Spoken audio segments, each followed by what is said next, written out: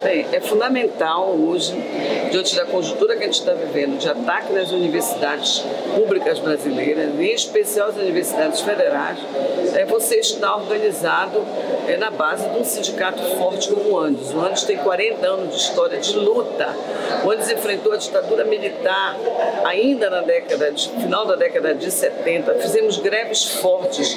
Se nós ainda possuímos universidade pública nesse país, se nós ainda possuímos uma carreira única em todo o país dos professores das universidades federais, foi graças a muita luta, a muita greve né, e a muitos enfrentamentos que nós tivemos. Veja bem, na época da ditadura militar, né, que foi um período muito duro para nós, dentro das universidades, que nós fomos cerceados na nossa liberdade acadêmica, nós conseguimos, inclusive, derrubar um ministro, uma ministra da Educação. Então é importante você, a, a DUFS, enquanto uma seção sindical, né, não ficar isolada das lutas maiores.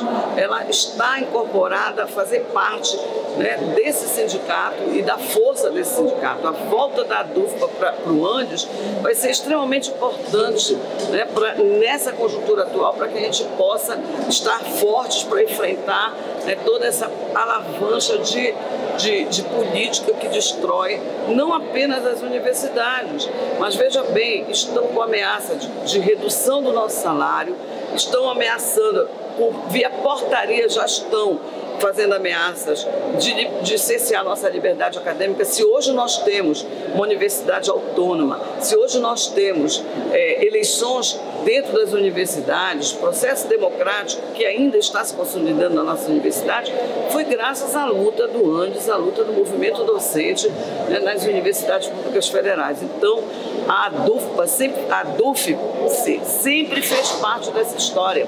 Né? E é muito importante que ela resgate essa história, que ela retome é, a luta política maior, né? que é quanto mais unido, mais unificado, nós vamos estar mais fortes para enfrentar toda essa política de destruição das universidades públicas.